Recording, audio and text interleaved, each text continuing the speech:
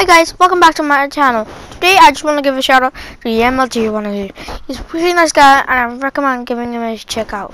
He's really nice and I just want to thank him for the support that he gave me. Bye!